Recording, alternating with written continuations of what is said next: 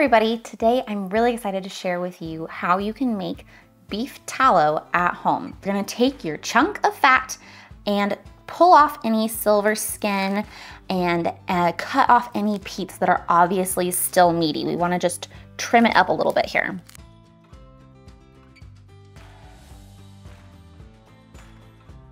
Okay, now we're just gonna start slicing it. You could throw this through a meat grinder if you want it to render down even faster. Cut it into about one inch pieces and stick them in this heavy bottom pot. Non-reactive stainless steel is perfect. Yeah. Any meaty or connective tissue parts that I'm finding along the way, I'm just pulling out and putting in a scrap bucket.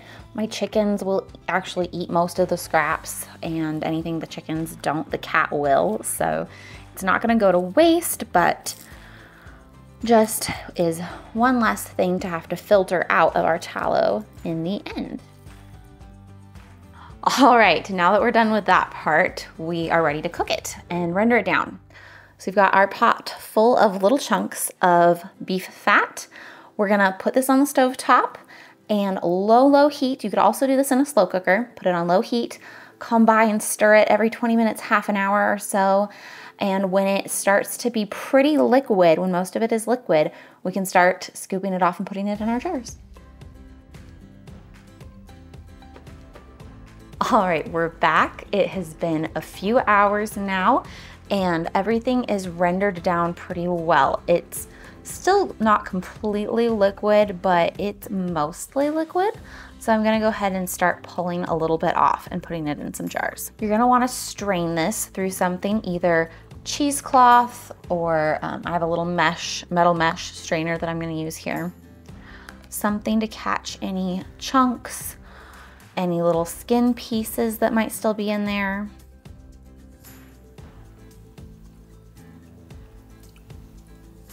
And you're just gonna ladle this straight into a nice sterilized jar.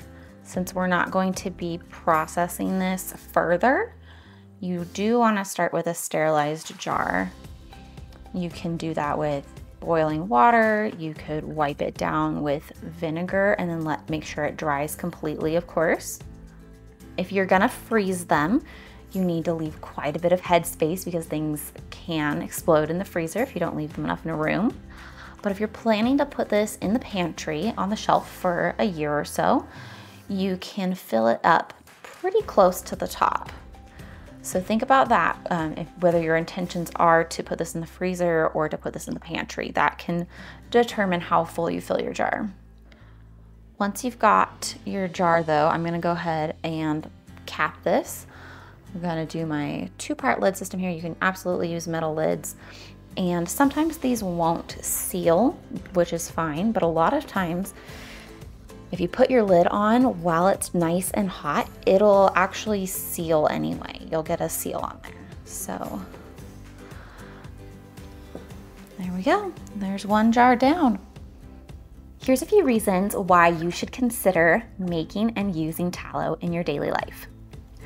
Tallow has an incredibly high smoke point, which makes it the perfect cooking oil for all of your frying needs. Tallow is rich in vitamins. It is a good source of A, E, D, K, and B1. And those are all fat soluble and bioavailable because it's in a natural food source rather than a supplement. So your body's actually gonna absorb most of those nutrients. Tallow is also high in CLAs, which are known to fight cancer, and there it's a great source of omega-3s. Like I said, it's so easy and inexpensive to make at home. Most of what you find in the store is gonna be hydrogenated, so though it is still maybe a better option than seed oils, it's not gonna be the same product that you can make at home, and it's going to be three to five times the cost of making it at home. It's amazing topically. Tallow makes a wonderful body balm. You can whip it or you can just use it straight out of the jar. You can infuse it with herbs or essential oils. It makes a wonderful lotion for your face and whole body. There we have it, the first few jars out of this batch. I'm gonna put the rest of this back on the stove top on low to just keep rendering. If you're doing this in a slow cooker, know that you can take a break and let it go overnight on keep warm. Just make sure that you do have it on like a keep warm setting rather than a low setting to avoid any scorching. But if you want to do that and you're in a slow cooker, you can totally just put on the brakes overnight, let it keep going on keep warm. And then if you need to kick it up a notch and put it on low in the morning, go for it. I am really excited about this. I think I'm going to get quite a bit of tallow out of this batch. So I will put in the description exactly how many pints of tallow I got rendered for that $30 price tag. I'm excited to see exactly how much it comes out to. Let me know if you have ever rendered fats at home, if you'd be willing to give it a try, and let me know in the comments. Thanks for watching and have a great day.